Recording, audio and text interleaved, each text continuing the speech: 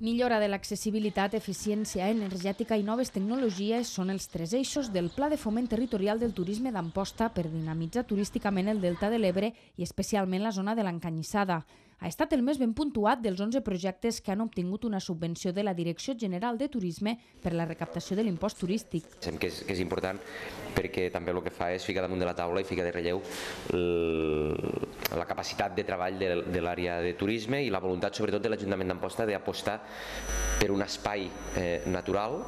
que considerem des, de, des del principi eh, que és el que té més potencial al nostre territori per a poder desenvolupar eh, turísticament, però sobretot turísticament des de, des del, des de la vessant de turisme sostenible. L'ajut és de 350.000 euros per un projecte per un valor superior als 800.000 que preveu 14 actuacions. A part de renovar la carretera, es millorarà la senyalització i la informació i hi haurà nous aparcaments i miradors que seran adaptats. Un projecte local però amb mentalitat territorial. Sí que és cert que Poble Nou i la zona de l'Encanyissada són terme municipal d'Amposta, mm, però no deixen de formar part de tot un conjunt que és el Parc Natural, que, de la qual Amposta ens considerem en certa manera capital de, del Delta,